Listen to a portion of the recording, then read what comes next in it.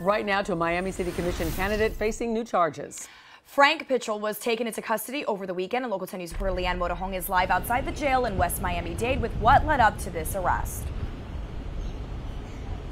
So this is the entrance to the jail. At this point, we know Frank Pichel, according to sources, is still hospitalized. We are expecting him to arrive here uh, sometime today. But, you know, Frank Pichel he was once a Miami police officer, ran for mayor, has previously run for commissioner, is very well known in the unusual world of Miami politics, and he is currently a candidate for District 1. That is the seat that was uh, that was held by Alex Diaz de la Portilla until he was suspended by the governor after his arrest on corruption charges. So what is Pichel accused of? Well, he's facing one count of aggravated assault with a deadly weapon.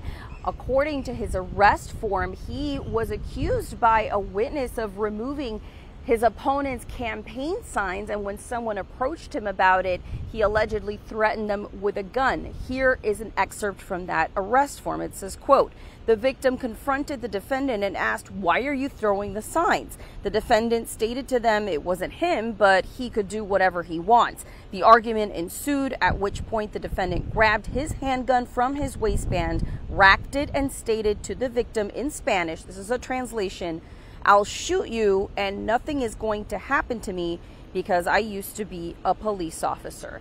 Now, I want you to take a look. This is Frank Pichel, but this is a mugshot from 2021. Uh, I don't think we have that photo for you, but he was previously arrested in 2021 for impersonating a police officer in Monroe County. At that same time, we should mention that he was also running for mayor against Francis Suarez. There's a lot to unpack here, a lot of history uh, with regards to Frank Pichel and the city of Miami. And of course, we will be unpacking all of that as well as what he's accused of doing in this particular case coming up on later editions of Local 10 News. For now, reporting live here outside of the jail, Leanne Morejon, Local 10 News.